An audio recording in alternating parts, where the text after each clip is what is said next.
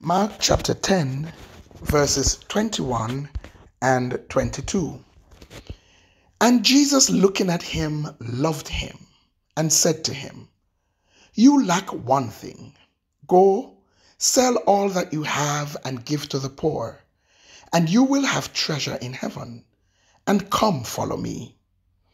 Disheartened by the saying, he went away sorrowful, for he had great possessions. Jesus looks on this rich young ruler and gave him the solution for more. He gave him the answer for how to access the more that he wanted for his life. How to access a greater life and eternal life. Jesus told him, Sell all you have, all you own, and give it to the poor, and come and do ministry. Like, really, Lord? Why would you do that to me? Why would you ask so much of me? What did I do wrong? Why would you take away all of this from me? You see, it felt like too big an ask. But why did the Lord do it? The Lord did it because he loved him. He did it because he wanted what's best for him.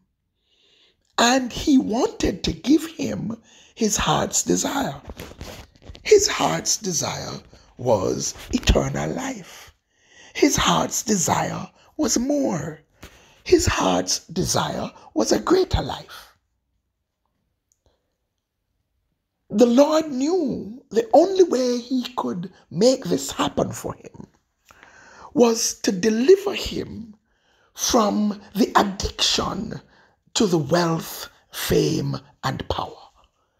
To deliver him from the bondage that came with his reliance and dependence on the wealth, fame, and power. And so, the only way he could get more is to let that go. But he was disheartened. You see, he misinterpreted the Lord. He thought the Lord was taking away his stuff. He thought the Lord was asking too much of him. How many times have we misinterpreted God? How many times are we in a position where God is seeking for our best, but we feel as if it is worse? He is seeking to get us to the very place that we desire, to give us the very thing that is our heart's desire. But because we do not understand his route, we misinterpret his move and we mistrust his command. We get disheartened when he seeks to pull us away from things and sometimes pull us away from persons and pull us out of certain circumstances. But the Lord loves you. And all things will work together for your good.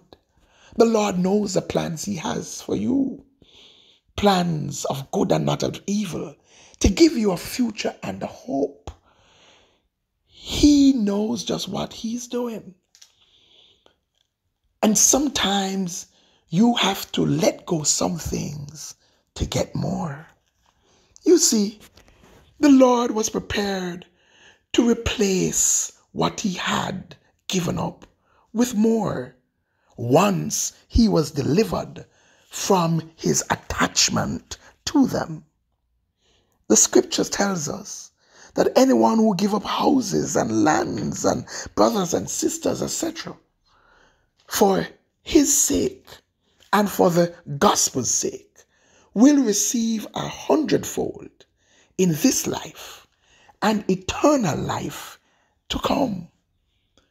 So he would have gotten more in this life.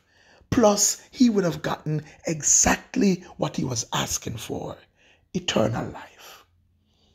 But he needed to trust God and allow God to do with him what was best for him.